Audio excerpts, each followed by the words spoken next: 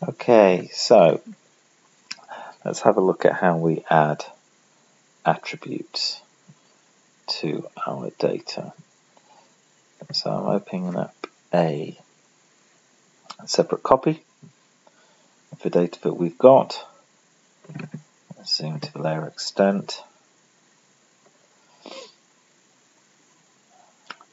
Okay, so we can see we've got lots of fields, and here we have a Tysoe parish boundary, which kind of relates to those fields. That's a bit of an offset. It's not an enormous problem. And so what we want to do, or we can do this, is tell the underlying data that all of these fields belong to Tysoe. So we can either do that in one of two ways. One is we can add an extra field into the spatial data set that says parish, which we've already done. Um,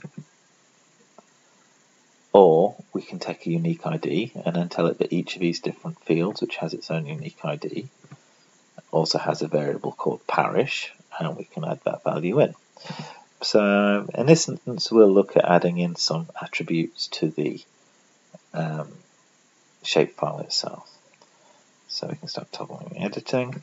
We'll look at some properties.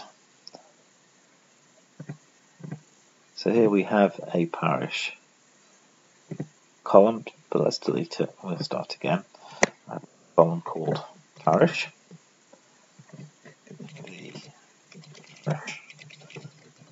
Now we won't, that saved. Uh, we can choose what take to type it is, and this is we it to be a text string, and then how long we want that to be. Choose 250, which is enormously long, uh, but it can take some very, very long names. And then we click on OK. So we've now added a new field in to this table, which means that if we look at the information on one of these polygons now, we'll see that we're trying to find some information in here and we can add stuff in about parish. Brilliant. Um, so then we can start to select some of these features. Look at the attribute table. And we can potentially, let's look at the selected features and bring it to top.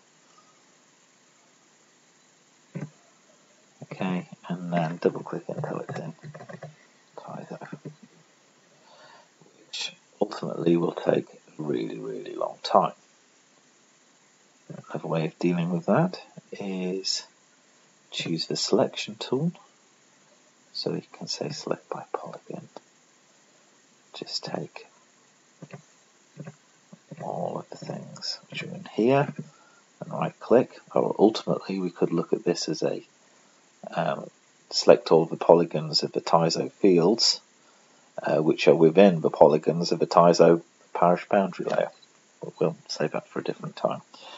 So we've selected all of these, and we can use a field calculator and say that for the selected features, we want to update an existing field called parish, and we want to give it the expression Tysoe.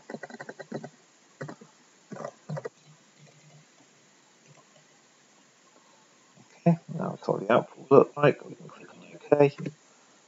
Ta-da!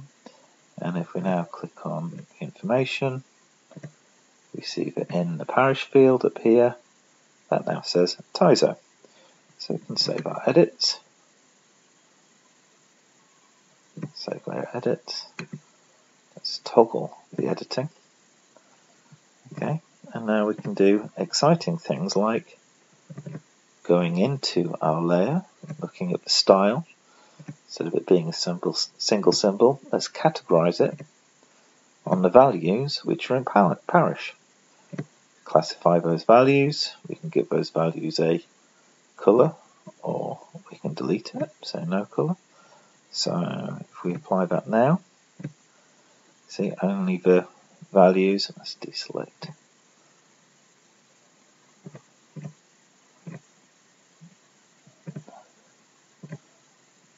select all features.